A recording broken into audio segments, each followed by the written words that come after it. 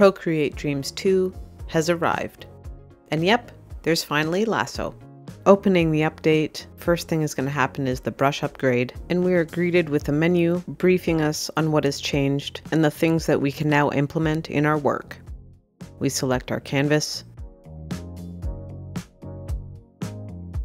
and the first thing I'll do here is change the canvas color.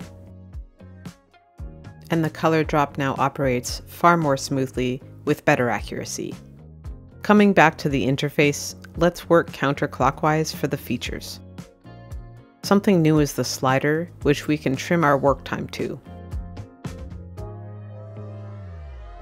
And down at the bottom, we have three modes for our animating. Compose, Perform, which will be on with the recording dot here, and Keyframe, which will activate our options when material is present.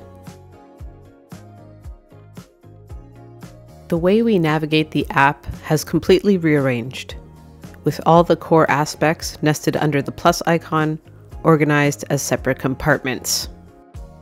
Instead of having to go out into the theater to change settings and specifications, it is all housed here.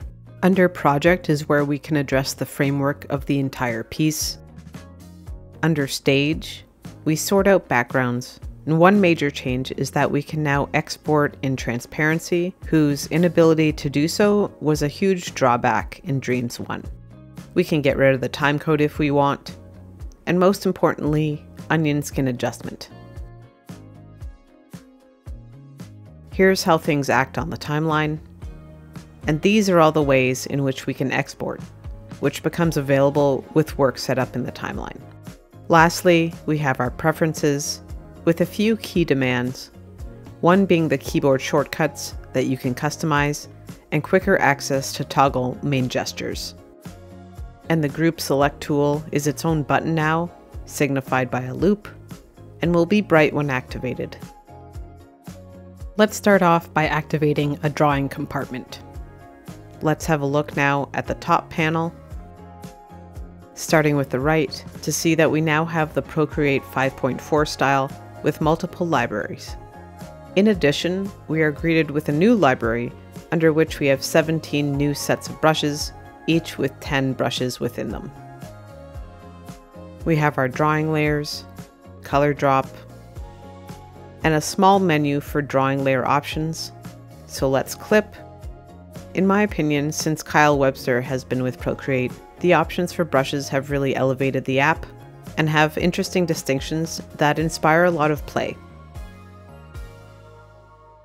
Moving on, we have a limited version of what we're used to in Procreate. We can add media, manage properties pertaining to the canvas, and most importantly, we have a shortcut to our onion skins, so we can work within the drawing or flipbook stage without having to exit to adjust our guide layers. In regards to our brushes, which were previously static, we can now adjust stabilization and pressure curves. Moving on to adjustments, since I'm within the drawing, I cannot directly keyframe these settings from here.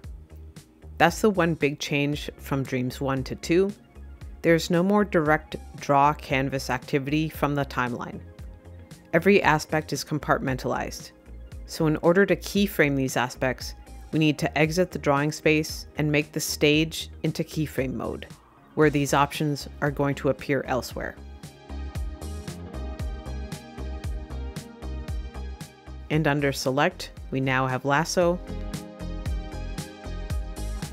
which works hand in hand with the Transform, which is finally here in a better iteration. The paint draw experience has also improved, And now let's get out to the compose timeline. Since it is Procreate, many things are gesture based. So to find snapping, you need to be in perform or keyframe mode only.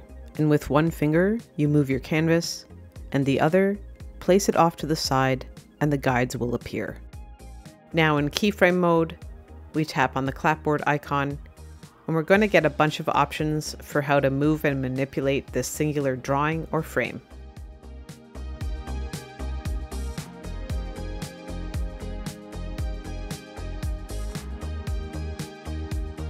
And since I hate my perform mode leaf, this is the time I can bring up flipbook mode and do the animation frame by frame for more precise control.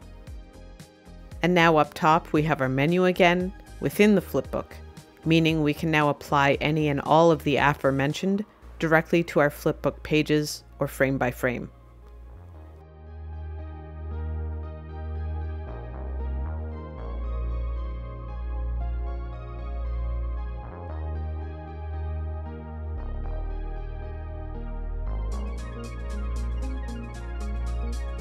And on the timeline, we can adjust the frames as a unit through groups and also deconstruct the flipbook to act as drawing layers that we can individually edit and conversely create flipbooks from the frames in timeline. You can stack multiple tracks within one flipbook, and one major hidden feature is how you can adjust your frames by long holding over the check mark Adding frames is easy, and we can use the select to gather multiple frames at once. And the awesome new time handles.